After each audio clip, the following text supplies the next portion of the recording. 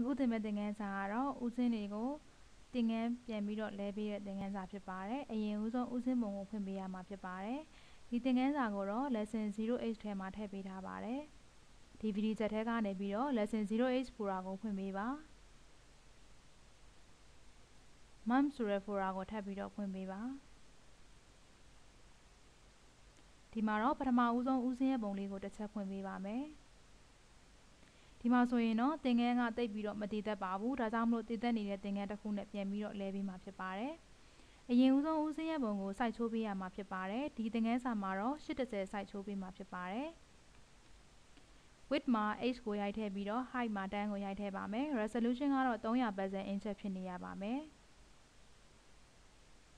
စိုက်ချိုးတဲ့အခါမှာဘေးနှစ်ဖက်အရွယ်အစားကညီနေရမှာဖြစ်ပါတယ်လိုအပ်တဲ့ အကွာဝေးလိုအပ်တဲ့အရွယ်အစားကိုရပြီဆိုရင်တော့အမှန်ချက်လိုက်ပါအရင်ဦးဆုံးဦးစင်းရဲ့လေပင်နဲ့ဦးစင်းရဲ့ခေါင်းမျက်နှာကိုပန်တူးလေးပေးရမှာဖြစ်ပါတယ်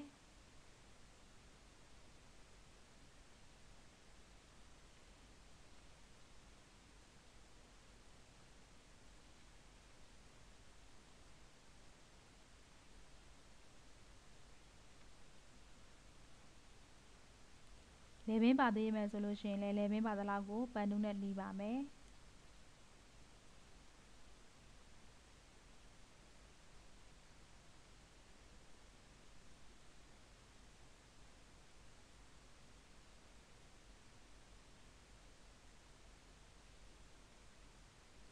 စမှတ်နဲ့ဆုံးမတ်နဲ့ဆုံးပြီဆိုရင်တော့0မှတ်လေးပေါ်သွားပါပြီဒါဆိုရင်တော့ဒီပုံကို selection ပေးပါမယ် right click နှိပ်ပါမယ် make selection ကိုရွေးပေးပါ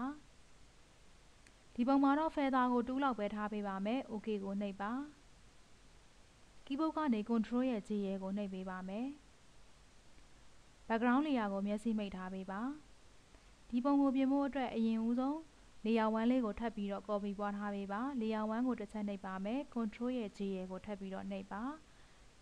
အခုပွားလိုက်တဲ့ layer ရဲ့ပထမရှိနေတဲ့ layer ရဲ့ကို link ချိတ်ပါမယ်အပေါ် layer လေးကိုတစ်ချက်နှိပ်ပါ control ကိုဖိထားပြီးတော့ layer 1ကိုတစ်ချက်ထပ်နှိပ်ပါ link ကိုနှိပ်ပါမယ်အပေါ်တစ်ခုကိုမျက်စိမိတ်ထားပါအပေါ် layer ကိုမျက်စိမိတ်ထားပြီးတော့အောက် layer ကိုကလစ်တစ်ချက်ပြန်နှိပ်ပေးပါဒါဘာတော့ခြံထားတာလဲဆိုလို့ရှိရင်ပုံပြင်နေရင်းနဲ့ပုံပြောင်းသွားလို့ရှိရင်ပြန်ပြီးတော့ယူလို့ရအောင်အပေါ်မှာထားထားပြီးတဲ့သဘောပါအခုမျက်နှာမှာရှိနေတဲ့အဆက်ပြောက်တွေကိုအရင်ဦးဆုံးလိုက်ဖြောက်ပါမယ်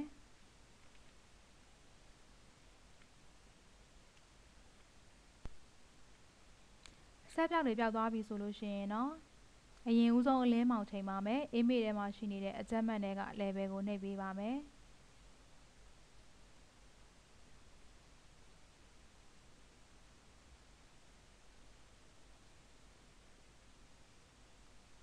အလင်းမောင်ချိန်ပြီးသွားတဲ့အခါမှာ OK ကိုနှိပ်ပါမယ်ဒီ level ကိုချိန်တဲ့အခါမှာ level ရဲ့ဘေးသားတွေကအလုံးမလုံးတဲ့အပိုင်းတွေပါဒီဟာမျိုးလွတ်နေတဲ့နေရာတွေဆိုရင်အလုံးမလုံးတဲ့အပိုင်းတွေကိုအားလုံးဆွဲတင်ပေးပါဒါကတော့ပုံတိုင်းမှာဒီလိုမျိုးတွေပါနေမယ်ဆိုရင် ဒီအလုံးလုံးတဲ့အပိုင်းနဲ့အထိ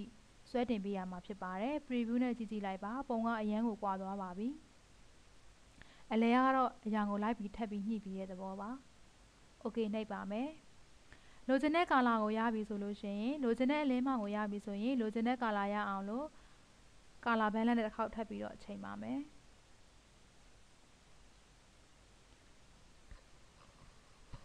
ညနာကိုကာလာချိန်ပြီးသွားပြီအလင်းမောင်ချိန်ပြီးသွားပြီဆိုရင်တော့အရင်ဦးဆုံး noise swell လေးနဲ့တစ်ချက်ချောပေးပါမယ်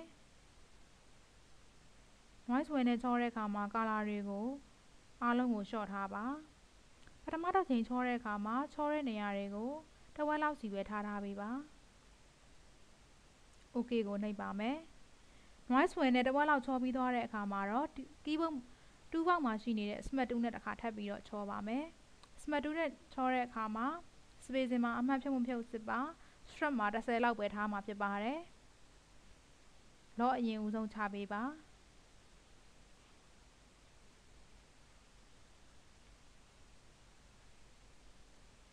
မျက်နှာကိုလိုက်ပြီးတော့ချောပါမယ်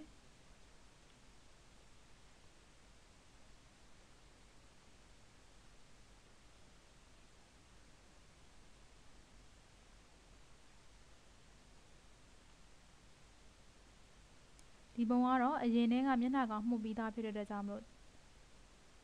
အများကြီးချောစရာမလိုပါဘူး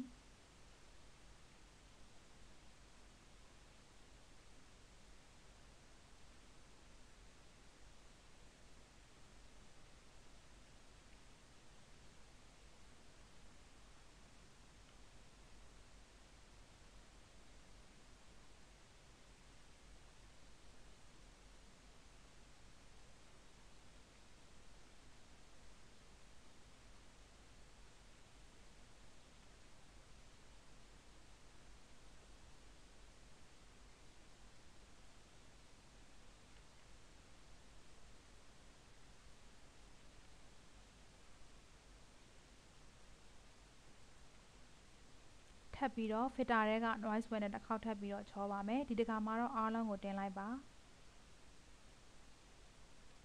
အခုဆိုရင်ဒီမှာသပင်နေရာလေးကအနှဲငယ်မက်နေတဲ့နက်နေတဲ့အတွက်ကြောင့်မလို့သပင်နေရာလေးတွေကိုနည်းနည်းလေးလျှော့ပေးပါမယ်ဒီခါမှာတော့ brush tool ကိုအသုံးပြုပြီးတော့လျှော့ပါမယ် brush tool မှာအနားသားဝါးနေတဲ့ပုံစံလေးကိုရွေးထားပါအရင်ဦးဆုံး keyboard ကနေပြီးတော့ control ကိုဖိထားပေးပါဒီလူပုံတက်တက်မှာ mouse နဲ့တစ်ချက်နှိပ်ပါဘေးနားမှာနှိပ်မယ်ဆိုရင်မရပါဘူးဒီလူပုံတစ်ချက်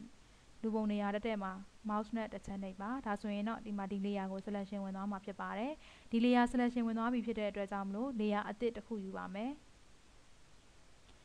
လူပုံရဲ့အပေါ်မှာ layer အသစ်တစ်ခုယူထားပါတယ် opacity မှာ20လောက်ပဲထားပါမယ် flow မှာတော့50လောက်ပဲထားပါမယ် brush ယူနေရင်းနဲ့ introvert ဖြစ်ပြောင်းလဲသွားခြင်းနဲ့ဆိုရင် keyboard ကနေ aura ကိုဖိရပါမယ် brush 2သုံးနေရင်းနဲ့ ham 2ဖြစ်ပြောင်းလဲခြင်းနဲ့ဆိုရင်တော့ space bar ကိုသုံးရမှာဖြစ်ပါတယ်အခုကတော့ aura ကိုဖိပြီးတော့နည်းနည်းဖွေးနေတဲ့နေရာလေးကို aura နဲ့ဖိထောက်ပါပြီးရင်မဲနေတဲ့နေရာလေးတွေကို brush နဲ့လိုက်ပြီးတော့ပုတ်လိုက်ပါ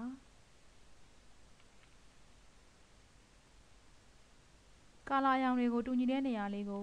order နဲ့ ဖိပြီးတော့ထောက်ပါပြီးတဲ့အခါမှာဒီမှာလာပြီးတော့ brush နဲ့ပုတ်ပေးပါဒီလိုအယောင်ဘန်းနေတဲ့နေရာမျိုးမှာလည်းဒီ brush ကအရန်ကိုအသုံးဝင်ပါတယ်သူဝေးနားမှာရှိနေတဲ့အယောင်ကောင်းနေတဲ့နေရာလေးကို order နဲ့ဖိပြီးတော့ထောက်ပေးပါပြီးရင် brush နဲ့လိုက်ပြီးတော့ဖုံးပေးပါတနခါးတွေကွက်နေမယ်ဆိုရင်လည်းဒီ brush ကအရန်ကိုအသုံးဝင်ပါတယ်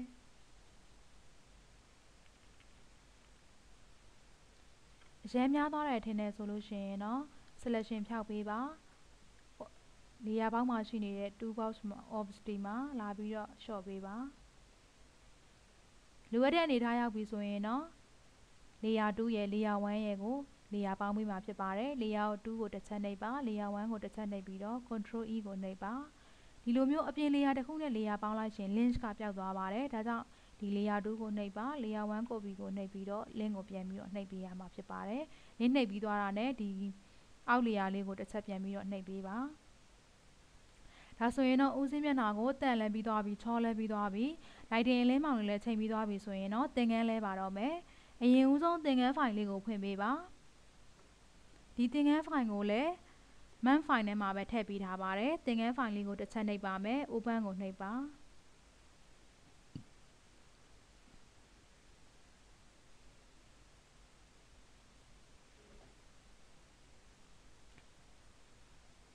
တူကိုယူပါမယ်ပုံနှစ်ခုကိုမြင်ရအောင်လို့ mouse နဲ့ဖိပြီးတော့ရွှေ့ပေးပါ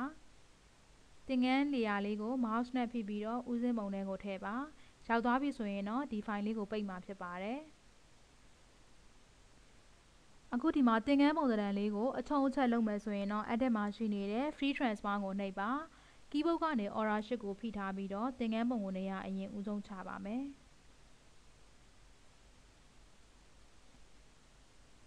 ဒီပုံမှာသင်္ကန်းအနေထားကိုချပြီးသွားပြီဆိုရင်တော့ဒီမှာအမှန်ချစ်ပါမယ်တကယ်လို့အနှဲငယ်ထပ်ပြီးတော့နေရာရွှေ့ခြင်းနဲ့ဆိုရင် keyboard မှာရှိနေတဲ့ left arrow right arrow ကို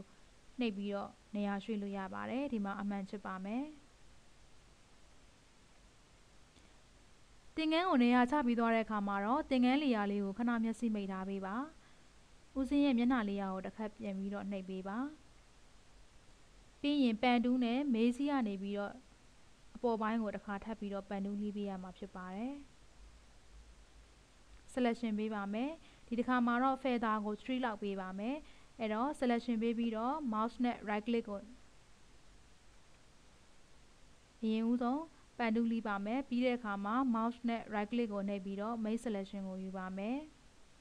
ဒီမှာ feather ကို3လောက်ပေးပါမယ် okay ကိုနှိပ်ပါဦးစင်းပုံလေးကို selection ဝင်သွားပြီဆိုရင်တော့ control ရဲ့ J ရဲ့နဲ့ဦးစင်းရဲ့မျက်နှာကိုမျက်နှာနဲ့မေးစီကိုထပ်ပြီးတော့ layer ထပ်ပွားပါတယ်သူတို့နှစ်ခုကို select လုပ်ပြီးတော့လင့်ပြန်ချိတ်ပေးပါဒီ layer 4ဆိုတဲ့ layer လေးကိုသင်္ကန်း layer ရဲ့အပေါ်ကိုတင်ပေးပါ mouse နဲ့ဖိပြီးတော့သင်္ကန်းရဲ့ layer အပေါ်မှာတင်မှာဖြစ်ပါတယ်ဒါဆိုရင်ဒီမှာ level နဲ့ခေါင်းနဲ့ layer ကသင်္ကန်းရဲ့အောက်တစ်ခုမှာတစ်ခုဒီ level ရဲ့လေဘင်းမရှိဘဲနဲ့မေးစီကြီးပဲခေါင်းကြီးပဲတက်တက်ကသင်္ကန်းရဲ့အပေါ်မှာတစ်ခုရှိနေရမှာဖြစ်ပါတယ်။ ပြီးတဲ့အခါမှာတော့ဒီသင်္ကန်းလေယာလေးကိုမျက်စိပြန်ဖွင့်ပေးပါဦးစင်းရဲ့မျက်နှာကိုရွှေ့ပြောင်းလုပ်ချင်တဲ့အကြီးအသေးလိုချင်တယ်ဆိုရင်တော့မူတူကိုယူပါဒီမှာလိုက်ပြီးတော့ချိန်ပေးရမှာဖြစ်ပါတယ်ထပ်ပြီးတော့ကြည့်ချင်သေးတယ်ဆိုရင် edit မှာရှိနေတဲ့ free transfer ကိုနှိပ်ပါမယ်အနည်းငယ်ထပ်ကြည့်ပေးပါသင်္ကန်းကိုနည်းနည်းပါးပါးထပ်ပြီးတော့ကြည့်ချင်သေးတယ်ဆိုလည်းသင်္ကန်းလေယာကိုနှိပ်ပါ edit မှာရှိနေတဲ့ free transfer ကိုနှိပ်ပါ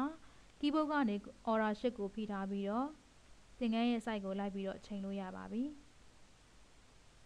အနားကကြည့်လို့ရှိရင်ဘေးအသားလေးတွေအနှဲငယ်ဝှနေမယ်ဆိုရင်တော့ဟနေမယ်ဆိုရင်တော့ဒီမှာ web ကိုနှိပ်ပါအနားသားလေးတွေကိုလိုက်ပြီးတော့ဖိပြီးတော့တွန်းပေးပါ